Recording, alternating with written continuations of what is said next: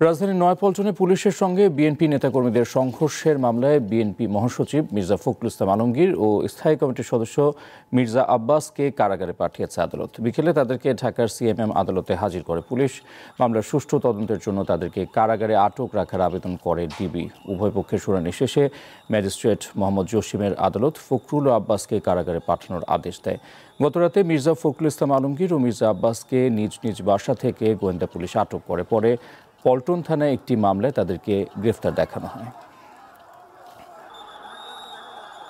মির্জা ফখরুল আলমগীর এবং মির্জা আব্বাস তারা যেহেতু আলাপ আলোচনায় নিশ্চয়ই তাদের সম্পৃক্ততা পেয়েছে বলেই কিন্তু তাদেরকে এই মামলাটায় গ্রেপ্তার দেখানো হয়েছে এবং তাদের আজকে জামিন শুনানি হলো এবং দুর্গা পক্ষ শুনেছে আদালত এবং তাদের জামিন নামঞ্জুর করেছে। আগামীকাল একটি জনসভা আছে যেখানে মির্জা ফখরুল প্রধান অতিথি এবং মির্জা আব্বাস বিশেষ অতিথি। তাদের বিরুদ্ধে পুলিশ গ্রেপ্তার করে যে ফরওয়ার্ডিং আদালতে পাঠিয়েছে, সেখানেও তাদের বিরুদ্ধে কোনো অভিযোগের উপস্থাপনা নাই। এবং রিমান্ড চায় না, এটা থেকেই বোঝা যায় যে এই মামলার সঙ্গে তাদের কোনো সম্পৃক্ততা নাই। রাজধানীর নয়াপল্টনে পুলিশের সঙ্গে বিএনপি নেতাকর্মীদের সংঘর্ষের মামলায় বিএনপি মহাসচিব মির্জা ফখরুল ইসলাম আলমগীর ও স্থায়ী কমিটির সদস্য মির্জা আব্বাসকে কারাগারে পাঠিয়েছে আদালত। বিকেলে তাদেরকে ঢাকার সিএমএম আদালতে হাজির করে পুলিশ। মামলার সুষ্ঠু তদন্তের জন্য তাদেরকে কারাগারে আটক রাখার আবেদন করে ডিবি। উভয় পক্ষের শুনানি শেষে ম্যাজিস্ট্রেট মোহাম্মদ জসিমের আদালত ফখরুল ও আব্বাসকে কারাগারে পাঠানোর আদেশ দেয়।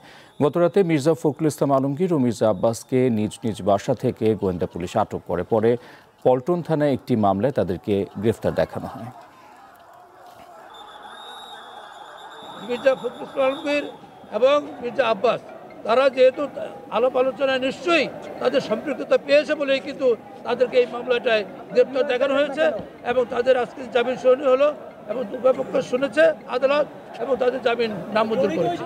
আগামীকাল একটি জনসভা আছে যেখানে মির্জা ফখরুল প্রধান অতিথি এবং মির্জা আব্বাস বিশেষ অতিথি, তাদের বিরুদ্ধে পুলিশ গ্রেপ্তার করে যে ফরওয়ার্ডিং আদালতে পাঠিয়েছে, সেখানেও তাদের বিরুদ্ধে কোনো অভিযোগের উপস্থাপনা নাই। এবং রিমান্ড চায় না, এটা থেকেই বোঝা যায় যে এই মামলার সঙ্গে তাদের কোনো সম্পৃক্ততা নাই। রাজধানীর নয়াপল্টনে পুলিশের সঙ্গে বিএনপি নেতাকর্মীদের সংঘর্ষের মামলায় বিএনপি মহাসচিব মির্জা ফখরুল ইসলাম আলমগীর ও স্থায়ী কমিটির সদস্য মির্জা আব্বাসকে কারাগারে পাঠিয়েছে আদালত। বিকেলে তাদেরকে ঢাকার সিএমএম আদালতে হাজির করে পুলিশ। মামলার সুষ্ঠু তদন্তের জন্য তাদেরকে কারাগারে আটক রাখার আবেদন করে ডিবি। উভয় পক্ষের শুনানি শেষে ম্যাজিস্ট্রেট মোহাম্মদ জসিমের আদালত ফখরুল ও আব্বাসকে কারাগারে পাঠানোর আদেশ দেয়।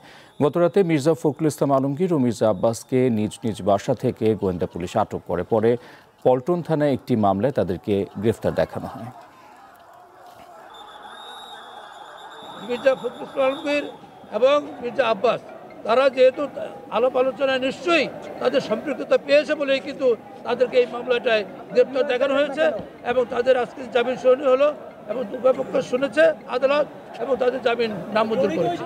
আগামীকাল একটি জনসভা আছে যেখানে মির্জা ফখরুল প্রধান অতিথি এবং মির্জা আব্বাস বিশেষ অতিথি। তাদের বিরুদ্ধে পুলিশ গ্রেপ্তার করে যে ফরওয়ার্ডিং আদালতে পাঠিয়েছে, সেখানেও তাদের বিরুদ্ধে কোনো অভিযোগের উপস্থাপনা নাই। এবং রিমান্ড চায় না, এটা থেকেই বোঝা যায় যে এই মামলার সঙ্গে তাদের কোনো সম্পৃক্ততা নাই।